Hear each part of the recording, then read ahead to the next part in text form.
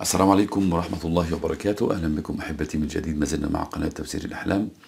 الحمد لله والصلاة والسلام على رسول الله صلى الله عليه وسلم. النهاردة هنتكلم عن رؤية الخروف لكن آه، الكلام النهاردة هيكون بالتوسع شوية. منذ سنتين أو ثلاثة ذكرت آه، معلومات بسيطة وسريعة في فيديو موجود على القناة آه، في بعض الرؤى عن الخروف.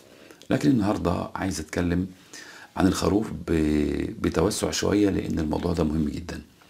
لأن رؤية الخروف من الأشياء الجميلة اللي من الممكن تشوفها أي امرأة وأي رجل لأنها أحيانا تدل على الذرية الصالحة وتدل للمرأة على آه، الحمل وتدل أحيانا للحامل على الذكر. فهي من الرؤى المهمة التي نراها في المنام. فبداية رؤية آه، هدية الخروف في المنام. هذه الرؤية تدل على الذرية الصالحة. وطبعا إحنا عارفين قصة سيدنا إسماعيل مع أبيه إبراهيم ودي إحنا مش محتاجين نكررها ولا نتكلم فيها. علشان كده علماء التفسير أخذوا إن رؤية الخروف في المنام وهديته تدل على الذرية الصالحة لأن إبراهيم عليه السلام افتدى ولده إسماعيل بخروف أو بكبش. رؤية أنك تضحي بالخروف هذه الرؤية تدل على الذهاب إلى الحج في هذا العام إن شاء الله. حتى أن بعض المفسرين قالوا بأن هذه الرؤية تدل على الفرج وفك الكرب. كأن الذي رأى هذه الرؤيا كان مكروبا فرؤيته أنه يضحي بكبش أو بخروف تدل له على الفرج إن شاء الله تبارك وتعالى. رؤية صوف الخروف. صوف الخروف في المنام من أفضل الرؤى التي من الممكن أن يراها أي إنسان في حياته لأنها تدل على الغنى وليس غنى فقط وإنما ثروة كبيرة ستأتيه في المستقبل إن شاء الله تبارك وتعالى.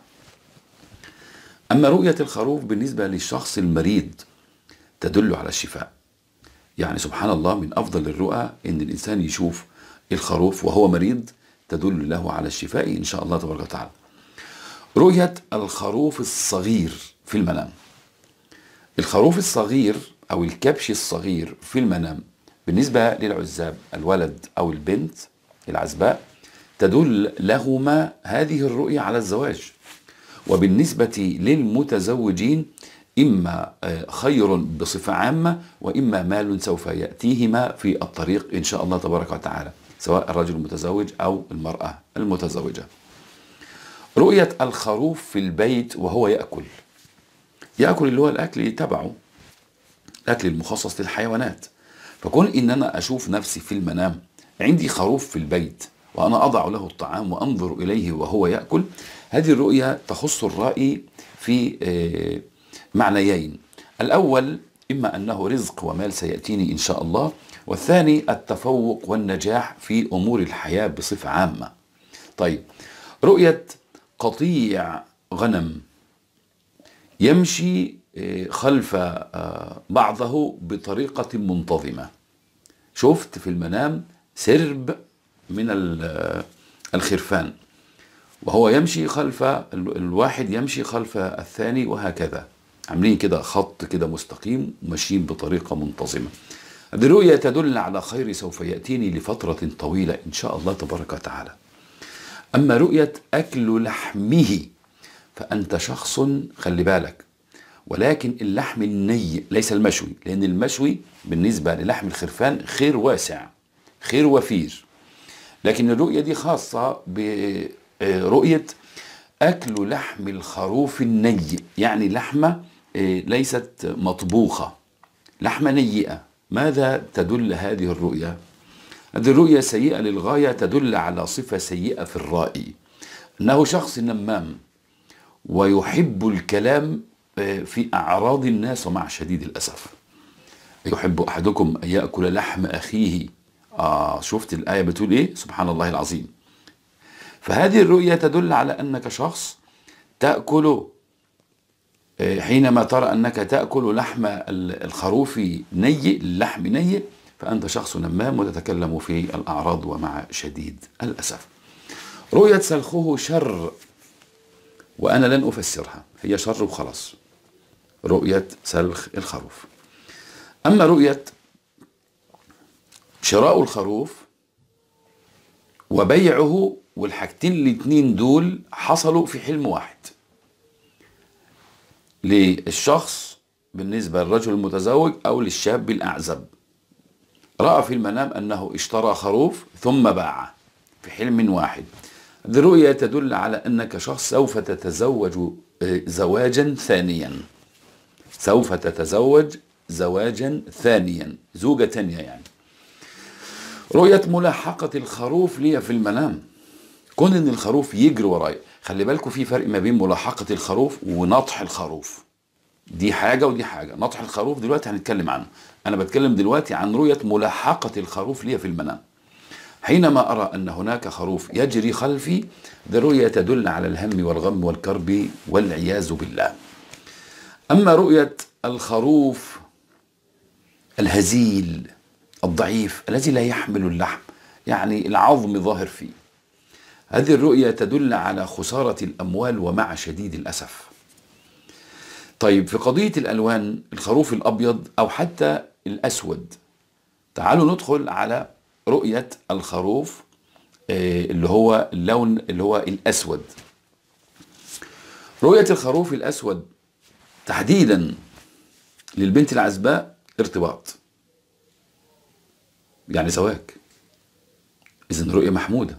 لا هي مش محمودة.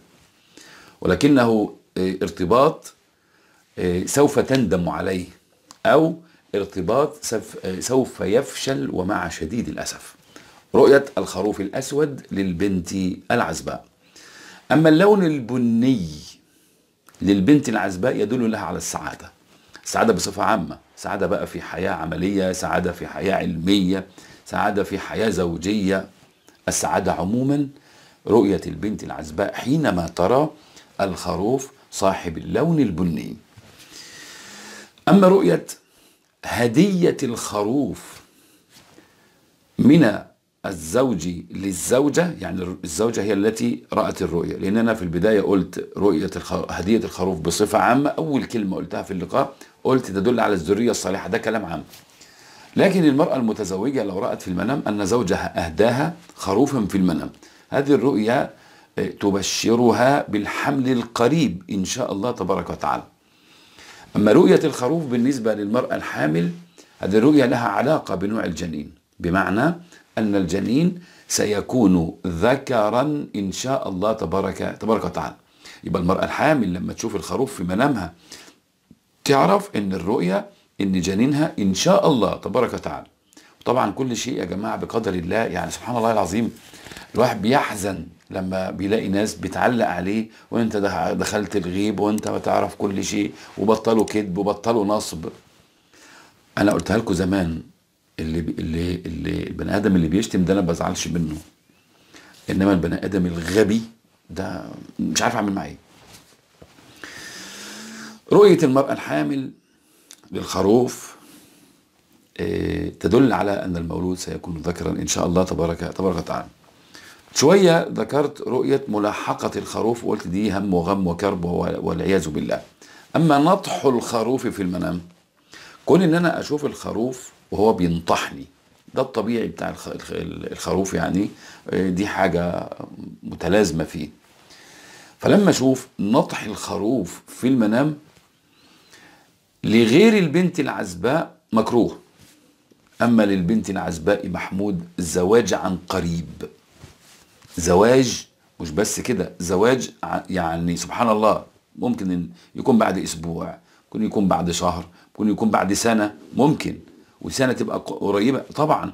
إن هو بالفعل من الممكن إنها تكون حاطة أمل على الزواج بعد خمس سنين مثلا مثلا. فيكون سنة بالنسبة لها طبعا كل شخص على حسب حالته المهم أن الزواج بالنسبة للبنت العزباء سيكون قريبا إن شاء الله حينما ترى في المنام أن الخروف ينطحها في المنام. تكلمت عن هدية الخروف من الزوج للزوجة وقلت بأن هذه الرؤية تدل على الحمل للزوجة.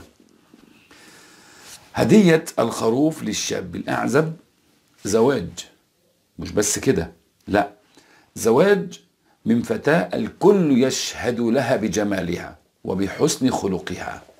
يعني تعتبر الجزئية الأخيرة دي أفضل من الزواج نفسه. كون إن أنا شاب أعزب أرى في المنام أن احدا يهديني خروفا أو كبشا هذه الرؤية تدل أنني سوف أتزوج من فتاة الكل يشهد لها بالجمال وبحسن السير والسمعة. رؤية الخروف الأبيض أنا اتكلمت عن الخروف الأسود وبها ونختم. رؤية الخروف الأبيض من الرؤى المحمودة. تدل بصفة عامة على النجاح والتفوق في الحياة وأحيانا تدل على وظيفة فرصة عمل جديدة ستأتيني وأحيانا تدل على الأخبار السارة المفرحة السعيدة إن شاء الله تبارك وتعالى. انتظرونا في اللقاءات القادمة والسلام عليكم ورحمة الله وبركاته.